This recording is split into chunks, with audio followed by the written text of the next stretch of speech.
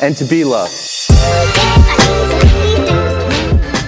Hey guys, so we are back with a part 4 to this top Cydia tweaks for iOS 9.3.3 through 9.2.1. To kick it off, we have Vintage Switcher, and it makes me feel a little bit nostalgic, but it also makes me feel unique, and it just feels more simpler than just that big switcher, and you don't really need to see the entire main app and what it's doing. Next up is haptic feedback, and this gives a vibration for the home button, the power button, even the volume switchers, and it just feels really nice. Sometimes it can get a little bit annoying, uh, especially when you're texting someone and you turn off your phone and you feel that vibration. Sometimes I think that it's just someone who's uh, just texted me when I turned it off. Next up is volume 8 and this takes the Windows volume and it adds it here. Now you can't touch it and move it which gets frustrating. Next up is blurred and this gives the black keyboard to go everywhere and it looks really nice. The only place that it doesn't go is Cydia, which kind of sucks.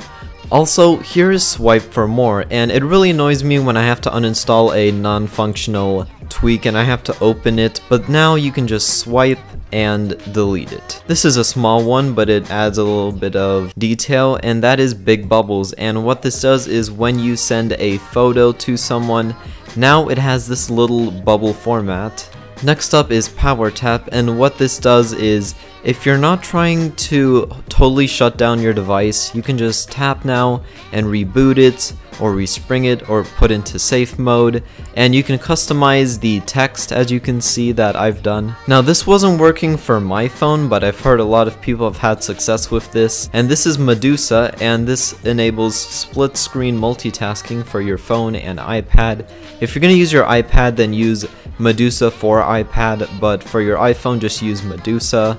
And according to other people this should work. If it doesn't, then this is a very good one to keep in mind because it does implement multitasking, which is something that a lot of Apple users have wanted. As you can see, my accept and decline have been replaced with say yes or say no, and that is thanks to Hotdog. With Hotdog, you can change almost any part of the interface to say other things like the slide to unlock. Now, the people who saw the lock screen video will know about Berry C8. For those of you who don't, Berry C8 is a tweak where you can put an app down in your lock screen and when you drag it to the bottom and you see those waves form in, then you just unlock your device and it'll automatically open it to that app.